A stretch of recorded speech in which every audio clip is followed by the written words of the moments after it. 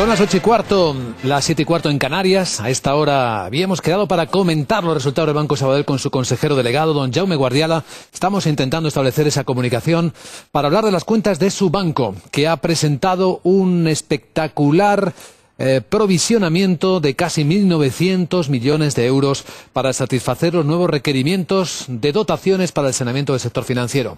Al final, el Banco Sabadell, que consolida por primera vez las cuentas del Banco CAM, consigue aún así un resultado positivo de 90,1 millones de euros.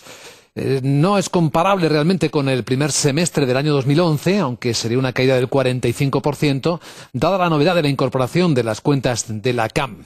A 30 de junio, el margen de intereses consigue subir a ritmos del 11,7% interanual gracias al efecto de esta incorporación del CAM, de la CAM. El margen bruto está en el 6,5% y el resultado antes de dotaciones sería de unos 673 millones de euros, el crecimiento real del 2,1%.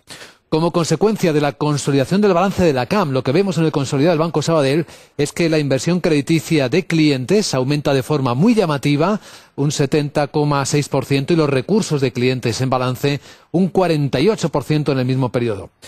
Sus depósitos a plazo, ya por ver este detalle también, se incrementan un 67% y las cuentas a la vista un 47,6%. Es que es un nuevo Sabadell el que estamos observando con la incorporación de la CAM.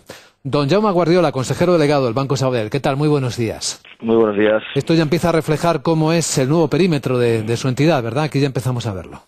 Sí, efectivamente, este trimestre, eh, teniendo en cuenta que la operación de la Cámara cerramos el 1 de junio, pues incorpora ya un mes de actividad y todo el balance de, del Banco CAM, ¿no? Por lo tanto, ya es, digamos, esto que decía usted, el nuevo Sabadell ya ya es una realidad. Y se ve en las cuentas el enorme esfuerzo por satisfacer los requerimientos de la nueva legalidad para sanear el sector financiero, casi 1.900 millones de euros. ¿Les queda todavía? Sí, lo que hemos hecho es, eh, en el cierre de Banco CAM cumplimos con todos los requerimientos de, de saneamientos eh, de los dos últimos decretos leyes en lo que respecta a la CAM y en este y hemos hecho en este trimestre pues un saneamiento que nos permite pues alcanzar un alto nivel de saneamiento del conjunto del entorno del 80% y cumpliremos digamos con el, con el calendario que presentamos a Banco de España para completarlo en los próximos en los próximos semestres. Ahora con CAM la tasa de mora está en el 7,82%, es alta aunque por debajo de la media del sector están ustedes.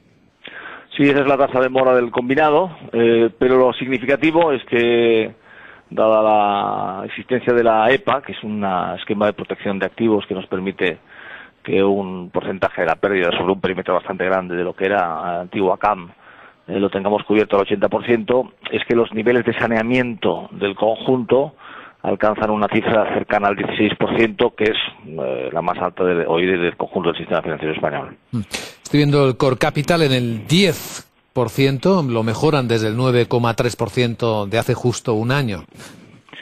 Sí, esa es quizás la, la, un poco la con, con, con, el nuevo stress test, con los, la prueba de carga que se está haciendo en estos momentos, y con el requerimiento de alcanzar un mínimo de capital del 9, eh, nos ha parecido, para que los números nos acabaran de cuadrar, que necesitábamos colocarnos en estos niveles de capital del 10 y eso evidentemente puede ser uno de los requerimientos para los próximos para los próximos tiempos movernos en ese entorno de capital. Hoy estamos esta semana estamos cerrando la última ampliación de capital a través de la conversión de preferentes de CAM que está yendo muy bien y con todo eso habremos levantado, que eso creo que es el gran mérito de este banco en este año, en el año 2012, capital por encima de los 3.000 millones, que es una cifra muy significativa y que nos permite pues afrontar todo este esquema de saneamientos y todo el esquema de la prueba de carga de, de, que nos exige la Unión Europea en el llamado rescate bancario pues con cierta con cierta comodidad y por lo tanto está, digamos, en la, en la línea de lo, de lo que se nos requiere. ¿no?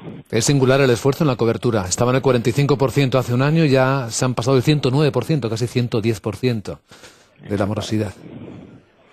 Vamos a, a comentar, señor Guardiola, si le parece bien, la escena que viene, con algunos bancos que se supone que en la segunda mitad del año pueden también pedir algo de ayuda al FROP. En esta escena, ¿cuál es la posición del Sabadell? Bueno, evidentemente quien hace el estrés son las autoridades, ¿no? Y son ellos los que tienen que ir determinando cuáles son las necesidades y requerimientos de capital de cada entidad. Nosotros estamos trabajando para ser uno de los que no necesite nuevos requerimientos. como le decía hace un momentito, hemos hecho en este año pues un esfuerzo muy grande de capital. ¿eh? Este final los, los accionistas de Sabadell y eso se refleja obviamente en las cotizaciones, pues han hecho un esfuerzo tremendo de darnos mucha confianza y hemos sido capaces, pues en el año 2012, de levantar 3.000 millones de capital. Con esa cifra y los niveles de saneamiento alcanzados eh, después de la operación de la fusión eh, con, con CAM, nos parece que estamos en la línea de poder ser uno de los que estén en ese grupo digamos, de los que no requieren eh, nuevas ampliaciones de capital. Aunque el mercado sigue cerrado, ¿no? El interbancario, con la prima de riesgo en España en los 640 puntos básicos a estas horas, esto es muy difícil para el sector financiero. Sí, es un momento donde va a ser muy difícil encontrar nueva financiación.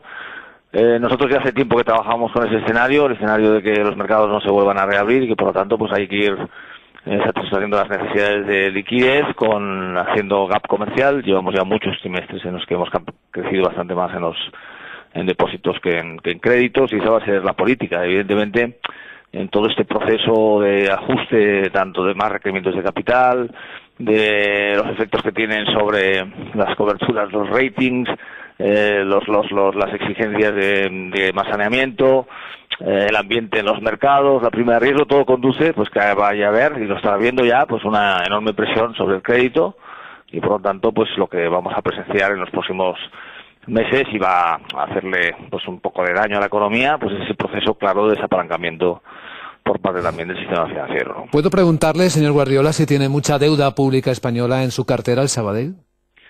Sí, tenemos la, bueno, tenemos, eh, no, no, ahora no le puedo, no le puedo decir la cifra exacta.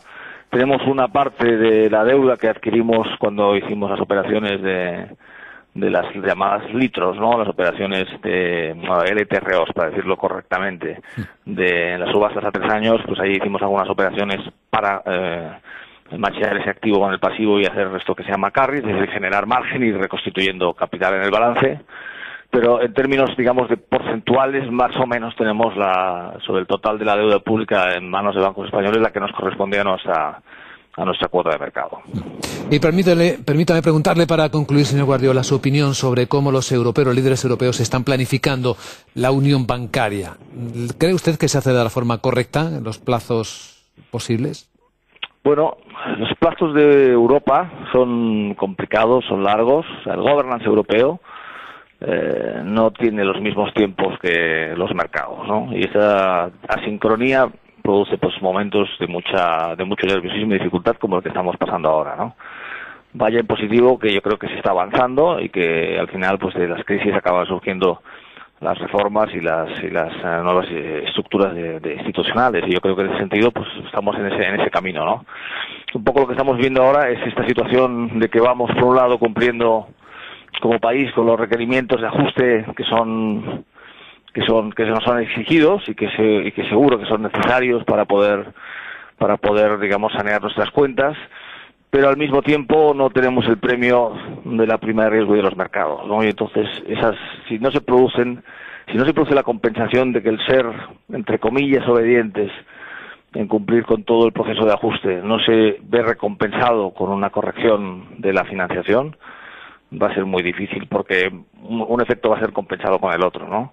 Entonces yo quiero creer que como estamos en la fase un poco más eh, eh, puntualmente más complicada de esa negociación o de ese proceso, si se va confirmando un poco pues todo este proceso de reformas, tendremos la recompensa de que al final pues los mercados le darán un poco de alivio a, a la prima de riesgo, ¿no? Si eso no se produce, realmente la situación es muy complicada porque estar por un lado haciendo este ajuste que acaba conduciendo al final pues a un decrecimiento de la economía y a una caída de los ingresos fiscales y no tener como compensación eh, pues una, una financiación razonable pues acaba siendo seguramente un objetivo inalcanzable ¿no?